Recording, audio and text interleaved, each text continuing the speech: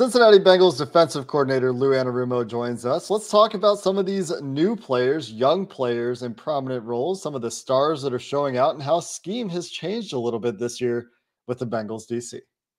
You are Locked On Bengals, your daily Cincinnati Bengals podcast, part of the Locked On Podcast Network.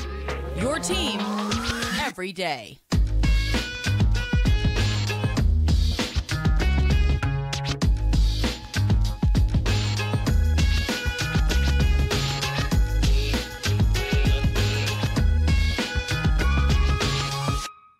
What up, and welcome in to another edition of the Locked On Bengals podcast. I'm James Rapien, along with Jake Liskow. Thank you so much for making us your first listen, and we're just moments away from getting to Bengals offensive coordinator Lou Anarumo. Today's show is brought to you by Prize Picks, the easiest and most exciting way to play daily fantasy sports. Go to prizepicks.com slash locked on NFL and use code all lowercase locked on NFL for a free deposit match up to $100. Lou's crew save the day on Sunday against the Seahawks. We discuss that defensive line, his core four, the secondary, Dax Hill, Nick Scott, and so much more. So without further ado, let's get to our conversation with Bengals defensive coordinator, Lou Anarumo.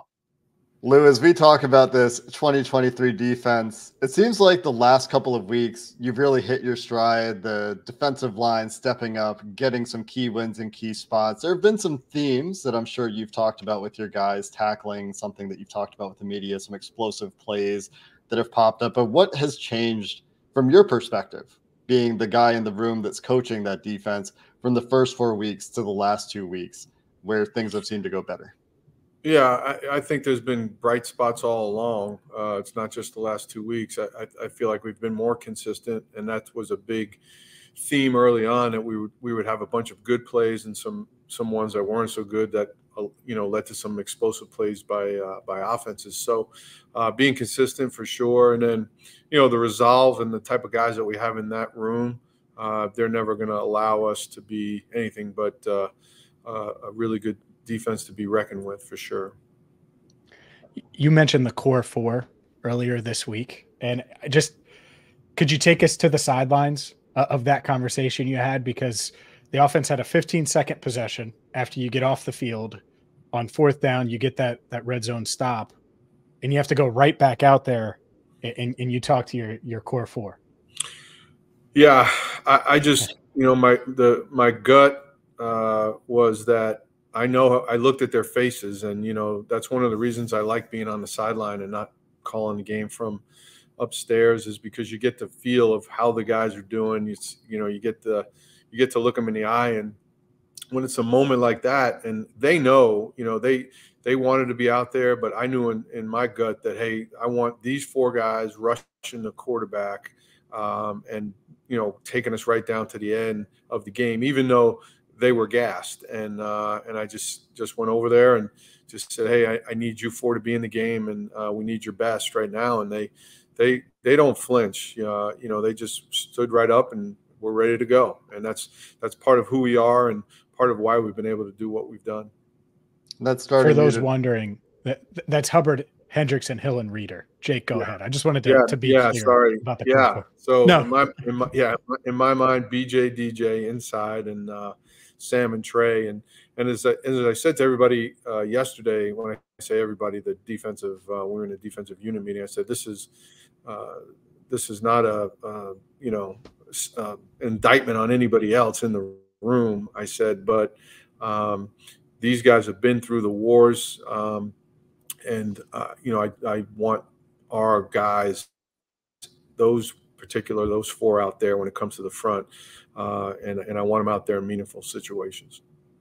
That has been a key for this team throughout your tenure in Cincinnati. Those four guys, as long as you've had them together on the field, have been consistent. To to use your word, very impressive when they've been on the field together, and the chemistry they have. BJ Hill talking about the stunt that he's talking to Sam Hubbard about out there, where he gets the the final fourth down stop. How has that been to see that come along through the years with those four guys together?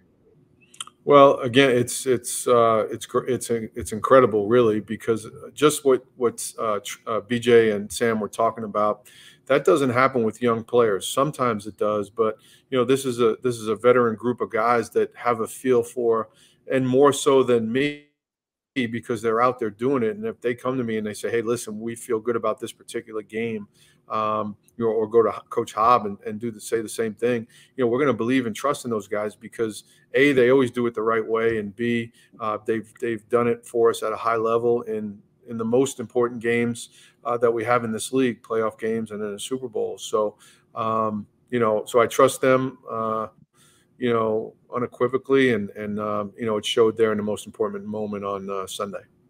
Is another piece of the consistency that you talked about that has seemed to improve over the course of the season. I didn't mean to say that the first four games there were no positives. Obviously, there there are always going to be things that are going pretty well, but is part of that the increased comfort for for Dax for Nick Scott the the new pieces, as it were, where there aren't a ton of new pieces. DJ Turner also playing quite a bit, but as part of that, that secondary maturing together as well.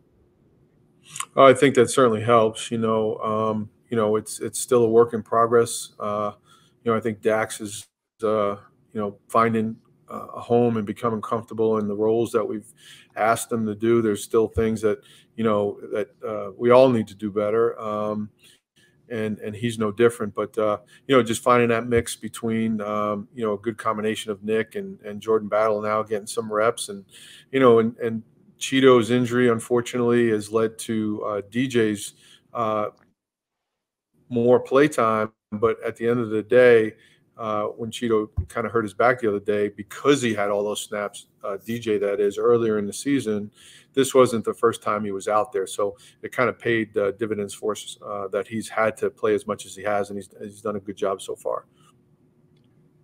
Lou, I'm hoping to go back to, to Trey Hendrickson just for a second. Seven sacks, I believe, has had a couple more uh, nullified due to penalties. Second in the NFL, though, and not penalties on him, so he could have more. It could lead the league uh, if a few of those calls early in the season go your way. Is this the best he's playing? that, that you've seen? Because obviously he's had two good years for you, but is this the best you've seen from him so far? Um, you know, I, I, just know Trey. Eh, he's always around the quarterback. Uh, he's around the quarterback in practice. He's around the quarterback during the games. uh, he doesn't.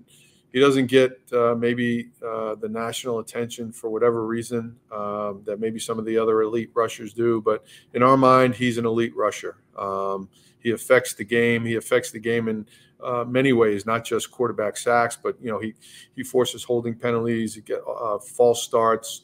Um, you know he's good in the run game. So uh, between him and Sam, we're we're lucky, we're fortunate to have both those guys. But but Trey is a an elite rusher in my mind.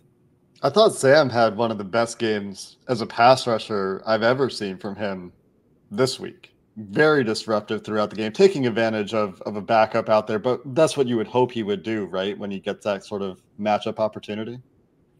Yeah. And, and I just think, you know, again, Sam, um, again, one of the guys that's, I think him and Josh Tupou are, are, the only two that are remaining from 2019 on defense.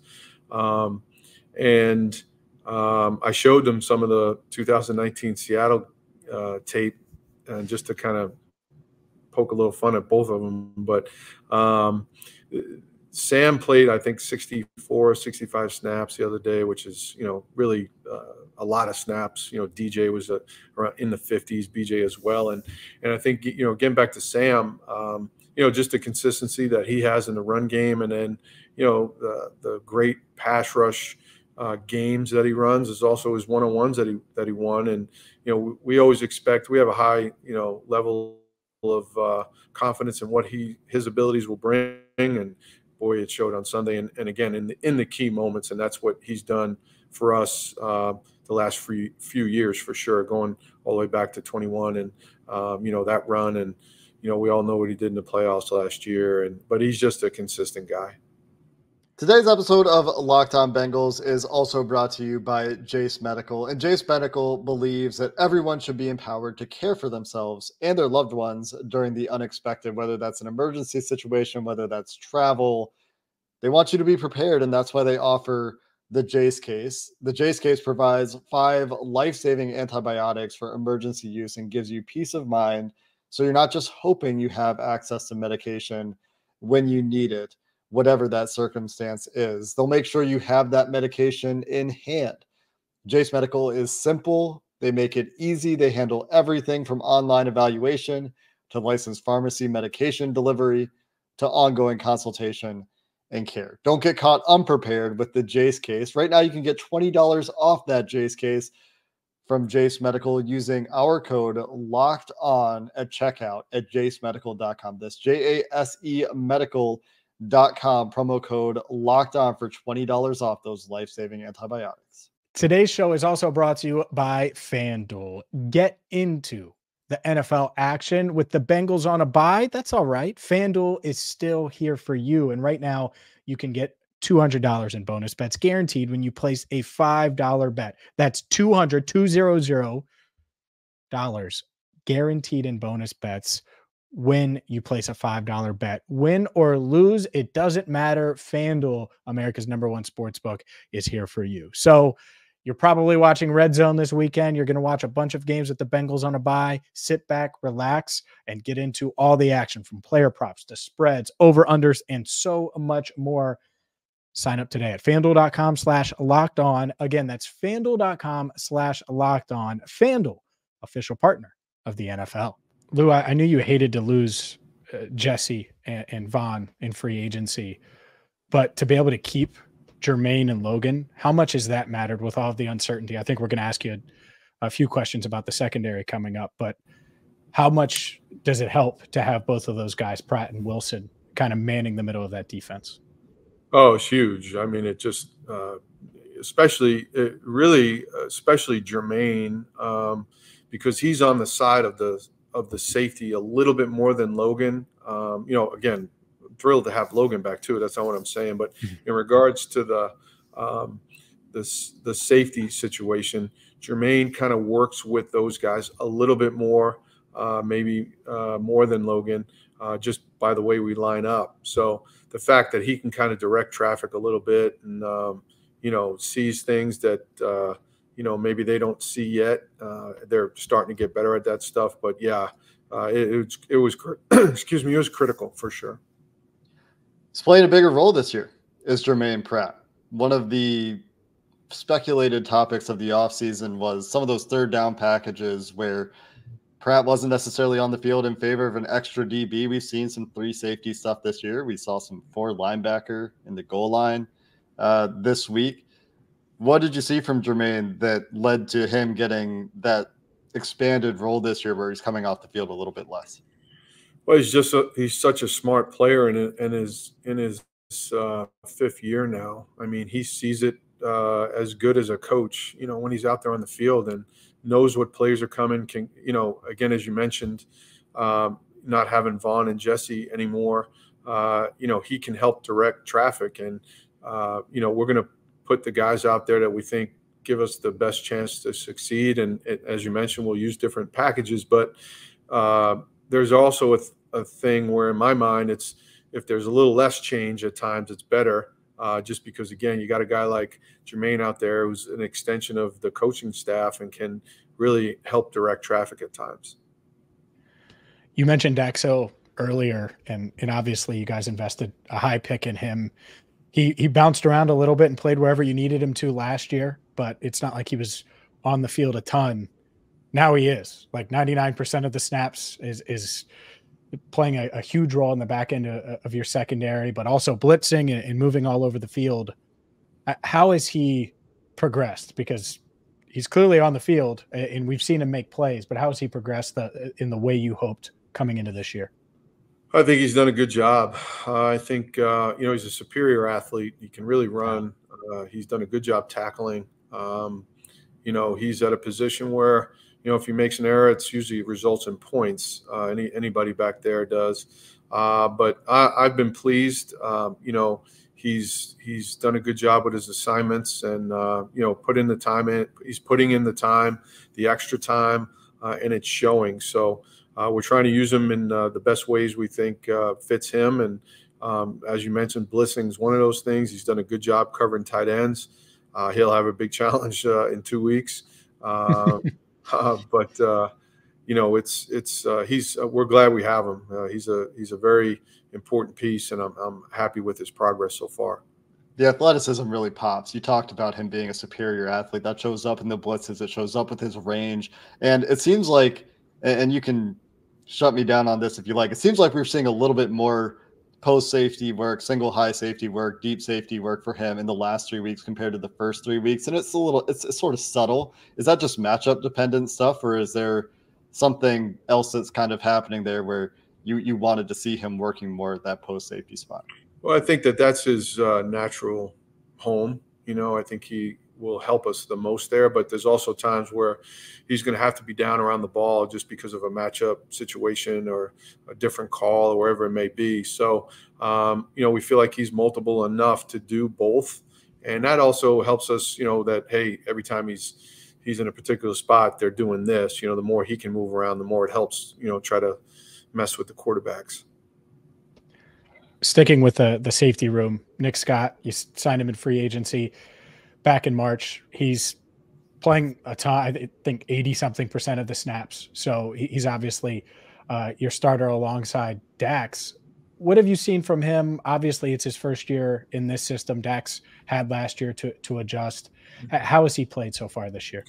Yeah, I think he's I think he's improving with each game. Uh, take another guy that takes a ton of pride in his what his job is. If he makes error, you know he knows you know that's something that hey this i got to improve on this. And, and you see the development and practice and certainly playing out in the game. So um, you know I, I, feel like as you mentioned you know we do things a little bit different um, but uh, he's he's picking it up well and and and I see improvement each week and we just got to make sure it continues that way. Obviously a guy you really liked in the draft just to round out the safety room for guys that are seeing significant playing time on defense jordan battle been on the field a little bit more the last two weeks. You you don't like rotating DBs, we know that, but he's found his way onto the field. What's been the driving factor there? Is that just that he's been showing you enough that he's earned his way into those opportunities?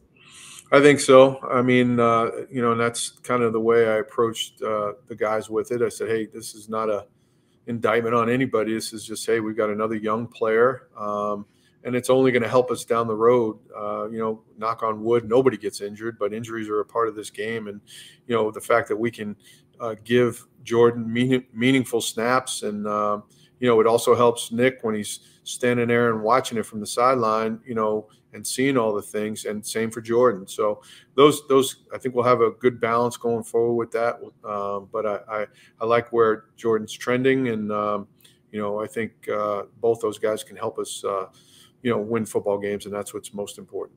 Today's show is also brought to you by Prize Picks. Prize Picks is the largest independently owned daily fantasy sports platform in North America. They are the easiest and most exciting way to play DFS. So, if you're like me and you might be struggling in some season long leagues, well, you got to get to Prize Picks because what you do is you battle you versus the numbers. You're battling the numbers. You're not battling sharks. You're not battling professionals and thousands of other players. No, you pick more or less than on a two to six player stat projection and watch the winnings roll in. So you may say Odell Beckham Jr. is going to go for less than 50 yards because I'm not sure he's caught a pass this year, or Josh Allen is going to go for more than two passing touchdowns. You pick two to six players, you can get up to 25 times your money. They offer weekly promotions that can lead to big payouts like Taco Tuesday. Each Tuesday, prize picks, discounts, player projections up to 25% to provide even more value. Go to prizepicks.com slash locked on NFL and use code locked on NFL for a free deposit match up to $100. Go to prizepicks.com slash locked on NFL. Use code locked on NFL for a first deposit match up to $100. Lou, how would you describe Cam Taylor Britt as as a player and then as a person in the locker room as well as a, a leader because I, I, do think he's he's developed into a leader in year two. Yeah, once he steps on the field, the guy's a pit bull. Um, I mean, he he doesn't back down from anything. Um, he wants to cover the best receiver. He'll take on a pulling guard or tackle in the run game. Uh, he's he's as tough as they come. Um, you know, I feel like uh, he's he's competitive, uh, and you put that along with his God-given talent. Um, you know, he can run. He's got good length. Um, he's athletic. you know, and so and he's a, he's a willing guy. You know, all of our guys are very very coachable. We don't have anybody in the building that's not, um, and that's part of the reasons why we're able to do what we do. Uh, but Cam is, uh, you know, he is becoming a valuable asset. Uh, he, he's only a second year player, um, really, you know, just a year and a half into his his uh, his career, uh, and really, I take that back, really a year because I think the first game he started was uh, Halloween last year. So, you know, he's only played uh, a number of games, but he continues to get better. Um, and if he gives something up, he knows exactly what he did wrong this is a league where they're going to catch some balls. You don't want them to catch any, trust me. Uh, but uh, that's not the NFL these days, and we just got to make sure when they do catch it, it's uh, it's a minimal type yardage play. And uh, Cam is Cam has been great. He's obviously a, a, bigger guy. You'd like to match up with DK Metcalf. Has a mentality for that matchup as well. Had a great game on Sunday. One thing that I thought was kind of funny, he, he kind of dives to try to break up the, the comeback route doesn't get his hand on the ball. DK gets some yards after the catch there. Was that reminiscent of the never do that again play from last year for him? It's the same play, oh, right? Oh, 100%. If you watch him, he looked right at me on the sideline and he just, he knew right away. Um, you know, and again, that's the that's the competitive side. He knew right away. Like I said, he knows when he makes error. Um, he's just trying to do everything he can, scratch and claw to get the ball out. He knew he went with the wrong arm, um, but uh, you know, he's I, I forgave him a little less, uh, I uh, forgave him a little more on this one just because I know he knew immediately, you know, that he did something wrong. But uh, you know, I, again, I love his uh, how he plays and how competitive he is. It helps when he has the interception and the pass break up on Tyler Lockett in the end zone too, right? That that'll make it a little bit more forgivable. Sorry, James, bit, yeah, no doubt, no doubt about it. You guys are relying on. I, I was just thinking about this. Uh, first rounder last year, in in Dax Hill, 31st overall pick. DJ Turner, second round rookie, second rounder last year. Cam Taylor Britt. All of these guys are playing significant time. Our our viewers and listeners know how hard it is to get secondary picks right, even early. And all three guys look like hits. How how have you guys been able to get the right players with the right mentality, all of those things, and, and get it right with these guys? Yeah, I think it goes back to um, you know, we said this now a number of years. I think, uh, you know, with Duke and his uh, group of guys and the scouts and and us and the coaches doing what we do, but we're on the same page. When when the scouting and the scouting department and personnel department are in line with the coaches, I think it works. Um, you know, and that and that's what we have here. We have great communication. If there's uh, an issue on a guy where hey maybe they like him more than we do, or vice versa, we sit down, we watch it, we talk about it um, and that's how you solve those type problems. When it's you know it's a very sub- subjective business, the the scouting part of it, and um, as long as we can come to, to, a common ground and know and, and the personnel people know exactly what we want and what their role will be when they get here uh, it helps make that process a little a little bit more seamless. Um, but uh, you know it's that's a big reason I, I believe why we've been able to you know get good guys in the draft and in free agency Love the the athleticism with DJ Turner as well. The the athleticism that pops off the page with some of the guys in the secondary, the speed that was a, a talking point, the fastest defense you've had by GPS data mm-hmm. uh, in in the preseason or in training camp. That that was that was a fun conversation as well. One thing I wanted to talk about was the, the defensive line rotation. Something you mentioned earlier. Some of the starters playing a ton of snaps so far. Sam Hubbard, uh, Trey Hendrickson, BJ, DJ inside how would you evaluate the play of some of those guys coming off the bench? Cam Sample, obviously fantastic uh, from 4i against Seattle this week, but what would you say about that group in general? Are, are you pleased with the way those guys are going? Is it a necessity thing for the starters? Would you like to get a little bit more out of that rotation? Um, you know, I think we do a good job with the with that part. I think there are some times when, um, and I'm not displeased with anyone. You mentioned Cam. Uh, he's done a really, really good job. And most people see when the guys are out there affecting the quarterback. Right. You know, uh, you know the Zach Carters of the world, the Josh Tupous of the world. Uh, that are in there kind of just slugging it out. The Jay Tufeles, who was up the week before, you know, in the run game, you know, that's a whole different variable that, you know, those guys are going to try to keep BJ and DJ, uh, those guys fresh and come in and do some jobs. You know, we're hoping to get Myles some more reps next week. Um, when he when he comes back and um, get uh, back from the bye. But uh, no, not displeased with any of them. Uh, I think that uh, I'm just more comfortable when it's you know when the game's on the line. Um, the guys that have proven it um, to to us as a staff and a, as, as a team, uh, those are the guys I want out there at the most critical critical moments. A year ago, I think there were a, a lot. Of, a lot of our listeners were wondering about Dax and, and his lack of playing time on defense, and naturally, we get questions about Myles Murphy. How is he progressing? Obviously, it's a deep defensive line room. We just went through a bunch of guys that are getting snaps, but how is he progressing? And are you hopeful that, that his playing time could increase over the next 11? Yeah, I, I, I certainly am. I think that, um, you know, he's shown improvement um, in, in really every aspect of his game, not just pass rushing. Uh, you, you, know, we saw him get his first sack a couple weeks ago. Um, you know, uh, I think that, uh, you know, it's it's it's a fine line because the the luxury we have is like we again, like you made a good point about Dax last year. We don't have to rush anybody out there, um, and when you don't have to rush a young player, sometimes that helps because they don't lose any confidence.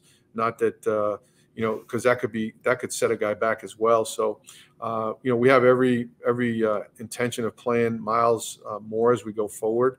Um, but those guys are pretty good in front of him. So, um, you know, it'll be the snaps that he gets. He's got to make uh, make them count, um, just like Cam Sample does and Joseph Ossai does. Um, but uh, we're looking to uh, get get him a little bit bigger of a role as we go forward. Last couple thoughts from me are, are more philosophical, big picture.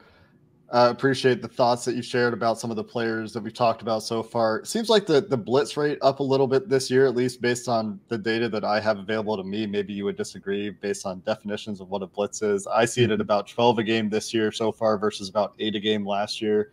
And, and another theme that I've noticed is that it, it seems like you know you're kind of getting some looks early in games, showing some things to set up blitzes later. A lot like you know, an offense will run a play early to see how the defense reacts to set up maybe a shot play later. Is that something that is an intentional part of the way that you're you're going into games early to to set things up late?